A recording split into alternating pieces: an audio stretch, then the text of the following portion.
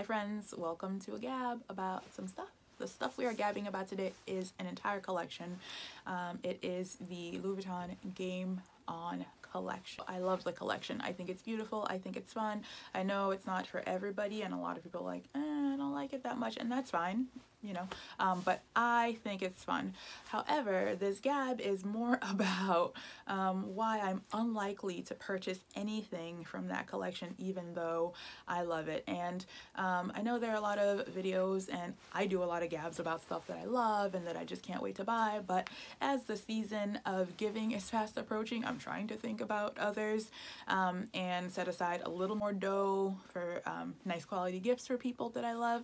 Um, and I'm also just trying to slow myself down from purchasing a bunch of stuff. So every once in a while, it's nice to hear yourself say why you're not buying stuff. So instead of just saying it to myself, I thought I would put it in a gab and share with you why I'm not buying, um, probably not buying anything from that collection. Don't hold me to anything. Like, next week if I unbox something just be happy for me please don't judge me don't like put me out and shoot me right but um, unlikely to purchase anything and just I'm just going to be content to enjoy watching other people enjoy the pieces that they get from the collection just because I love something. I know doesn't mean I have to purchase it. So I'll be loving these things from afar but let me share with you some of the reasons why I will not likely be purchasing them to add to my own wardrobe the first category of things that I will not be buying from this collection is the ready to wear. And that's because I don't buy any ready to wear. I think ready to wear is a wonderful way to spend your dough if you got the dough. But first, I ain't got the dough. Honestly, everything from this collection is all the way out of my price range. So that's fine. But um, even if I could, my big hang up about ready to wear is actually that my weight and body composition fluctuates and the way my clothes fit fluctuates. And I would be so bummed out if I spent so much money on ready to wear and I couldn't wear it or it didn't look quite the way it had looked when I purchased it you know?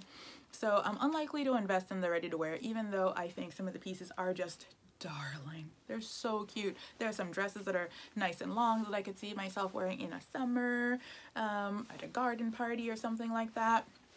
They have a little romper that's like shorts um, with a little tie at the waist that I think is just adorable and I could totally see myself just living in. But yeah, I'm not not quite not quite jumping into the ready to wear uh, situation yet. So the things that I initially thought that I would be interested in the Arch Light sneakers. I love the little red heart on the side with the little monogram trim at the back. How cute. However, it's $1,200. 1200 USD. I find that a tough pill to swallow. That's a lot of money for me for sneakers, especially because I actually really just enjoy sneakers, period. I really enjoy Puma sneakers and Nike sneakers. I buy those, they go with my outfits, and they are, I mean, a fraction, tiny, tiny fraction of $1,200. And I could buy a bunch of them, switch up my outfit and things like that. Next thing that really caught my eye was the shawl. I really enjoy shawls. I wear them all the time. I find them extremely practical. However, the shawl is white. It's white. It's beautiful. Um, maybe it's beige or cream in person. I haven't seen it in person. Um, but I wear foundation. I'd be so bummed out if I got foundation on the shawl. And like foundation is really hard to get out of um, clothes. Like you really have to put some energy into it. And once it's on there, like you just can't wear it until you wash it again. And I don't know, it's just a lot. So I'm thinking no on the shawl solely because I just can't deal with the thought of having to treat foundation stains out of a shawl. A white shawl. Okay, so this stole may have changed the game. It's black. I think it would be plenty useful and uh, I wouldn't have to worry about foundation stains. So let's say this is a strong maybe. Maybe. There is a silk square but that's a little smaller than the shawl. That does have a little more capacity to hide stains. However, um, it's not quite my jam. It's a little too small, really. Like you can't just like throw it around and do like the shawl thing with it. So it wouldn't be a good substitute and I just don't think so. The Twilly is adorable. However, I have purchased three Twillies in a month month's time. I think I'm good with Twillies at the moment. Um, I just don't know that I have enough bags or uses for that many Twillies. Uh, for me, three Twillies is plenty for now. And let's move on to the bags.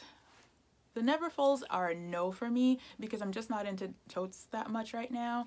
Um, I do enjoy the Neverfull. I don't currently have one in my collection and the next Neverfull that I add to my collection will be in the Mon Mono. It will be personalized for me and I will have it forever and that's just kind of it. So I'm not really checking for Neverfulls like that. Um, there's also a Speedy 25 and a Speedy 30. The Speedy 30 is just a no for me because I have had Speedy 30s. They're great, but I tend to put too much stuff into them and then I have shoulder problems and have back problems people say, well, just don't put that much stuff into them. But honestly, Speedies, they are kind of smushy, you know? So if you don't put enough stuff, the little things that you do put go into the middle and then it kind of folds on itself and it just gets to look weird. It actually gets to look like a flat bag, which, you know, defeats the purpose, I think, of having a Speedy. The Speedy 25, also adorable, but it's white and I just don't see my wardrobe being able to support a white bag um, for that much money, you know? So I don't think I'll be investing in that. The Pochette Felicie, how cute, so cute, so adorable. Um, it's black, so I wouldn't have to worry about that. Gold chain, I love a gold chain, I love a gold chain. But I already have a Pochette Felicie. I have enough small bags. So even though I think it's super cute and I don't know, I might, but I probably won't. I just don't have a space in my wardrobe for something like that. Aside than just that I just love it and I want it, which is fair too, but mm, I don't know. Uh, there are a couple of other bags, but they're not really styles of bags that I check for. There's one that's like shaped like a cube. I don't think so. There is the Coeur that's shaped like a heart. I don't know.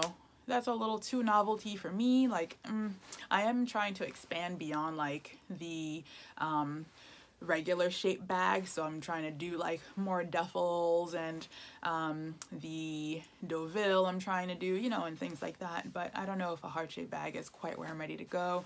They also have one of those double pouches, but I don't see myself getting a ton of use out of that. So I'm just gonna say no generally for the bags that are not the three that I've already discussed at length. The pouches. The cosmetic pouch, I'm torn. I think I'm gonna say no, but I am torn because the print is so cute. I love how bold, how much print they put on it. Um, but the cosmetic pouch and I haven't really got along that well. In fact, I've sold my cosmetic pouch. I find that the tapered top is just not conducive to carrying as much stuff as the space that that toiletry pouch, um, cosmetics pouch takes in a bag. Like it's shaped so funny that it just takes more space than I want to give up and I prefer the mini pochette and the toiletry pouch 15 like I find those way more user friendly for the shape of bags that I carry. So I'm probably not gonna do the cosmetic pouch. Oh it's so cute though. Um, nor the toiletry pouch 26. I love my toiletry pouch 26. I think it's great that you can turn it into a bag if you want to, but will I? Probably not. Um, so I don't know. I like the use of the toiletry pouch 26 that I get out of it, but I don't know that I need two, especially not two monogram ones, even though this one is a little bit different and it's got a little bit more pizzazz. I'm just not, I'm just not sure that that's something I need, even though I want it. They do have some other kind of random knick-knacky things that really just aren't for me. Like they have a pencil case holder. I'm not buying no pencil case holder. I don't even carry pencils like that or pens or anything. So I'm a no on that. Um, they have um, bag charms, I'm not really into bag charms, so I'm gonna pass on that. Luggage tags, no. Um, that's most of the collection. I may be forgetting a thing or two, like I haven't memorized everything about it, but those are the broad strokes and um, my impressions of them. So are they adorable? Are they cute? Do I think um, they would really snazz up somebody else's wardrobe and do I want to see if you get them? Heck yeah. But for me, for right now, it's a no. I'm just gonna take a big deep breath and a pause, enjoy some of the stuff that I currently have. And you know, who knows, in a year or two, probably like three, some of the stuff will be available pre-loved in great condition and if I still love it then I can always invest then. So it's not like if I don't get it now I can never have it. Um, I'm not aware that it's limited well it's limited edition but I'm not aware that it's limited production you know? So the stuff might come around anyway so I'm just gonna pause enjoy seeing y'all's unboxings of it and wish you the best. So let me know your thoughts though. Like, are you loving this collection? Do you think it's as much fun as I do? Have you already picked up a few pieces? Um, would love to hear your thoughts. So please get back. Take care, Instafam. Peace.